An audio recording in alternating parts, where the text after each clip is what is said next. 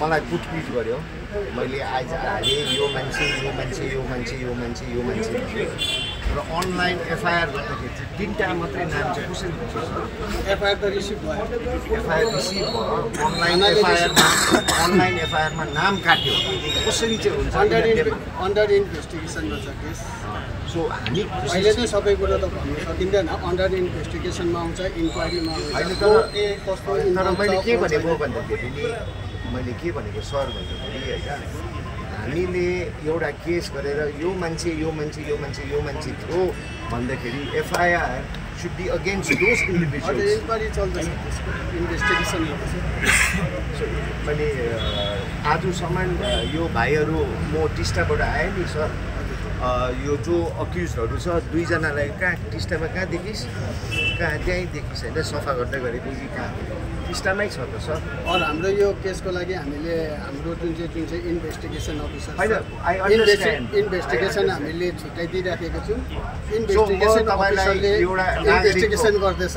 नागरिक जुन चाहिँ जो जसको इन्भल्भमेन्ट छ त्यो इन्भेस्टिगेसन नागरिकको हैसियतमा हजुर, तपाईँको कुरो इन्फर्मेसन चाहिँ के हो भन्दाखेरि टिस्टामा त्यो अक्युज चाहिँ त्यहाँ टिस्टामा हामीले देख्नु पायौँ। तपाईँलाई इन्फर्मेसन अनि उहाँहरूलाई तपाईँहरूले पक्राउ गर्नु हो कि सुरक्षित दिनु हो?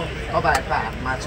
होइन हामी। नागरिक भएर होइन हामीले हामीले अनि इलेक्टेड बडी भएर होइन अनि चिफ मिनिस्टर ममता ब्यानर्जी पनि होम डिपार्टमेन्टको त उहाँ त चिफ होइन।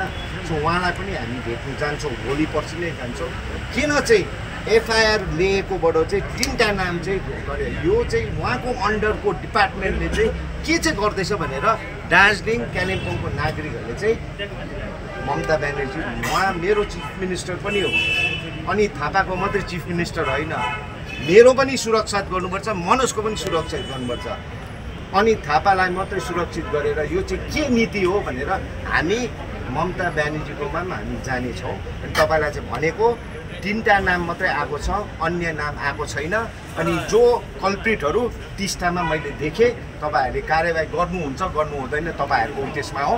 तर यो भिडियो चाहिँ ममता ब्यानर्जीको टेबलमै पुग्छ कि कसरी चाहिँ कालिम्पोङको थानाले चाहिँ तिनजनाको नाम मात्रै हाल्यो। धन्यवाद।